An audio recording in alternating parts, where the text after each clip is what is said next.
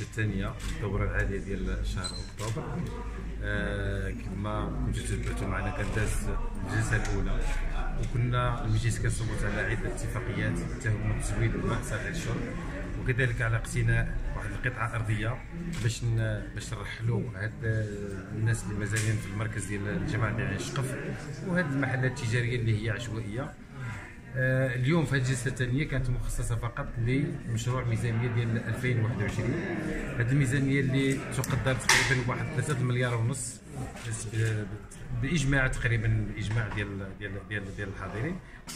كان النقاش كان النقاش اللي هو بناء. كان ملاحظات ديال بعض المستشارين اللي هي في المحل ديالها على المصاريف ديال ديال الميزانية ديال 2020 وكما تعرفوا أن هذه 2020 هي هي سنة استثنائية. لأنها كانت آه، يعني آه، بعض المصاريف اللي كانت موقفة نظرا لهذه الجائحة ديال ديال ديال كورونا وهذا الشيء وضحناه للإخوان والأخوات المستشارين اللي تفهموه. ودازت الميزانية على أحسن ما يرام.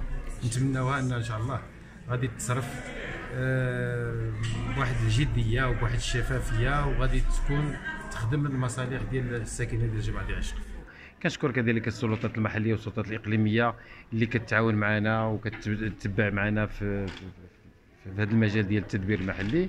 كنشكر آه، السيدات والسادة رجال الإعلام اللي هما كيواكبونا وكي في جميع الدورات وكيشوفوا يتبعوا الإنجازات اللي كدير عين شقف فالشكر للجميع وهذا هذا الشيء اللي خدمناه كاملين راه كنخدموا الجماعة ديالنا وكنخدموا بلاد- بلادنا تحت السيدة الملكية لصاحب الجلاله نصر الله وأيده.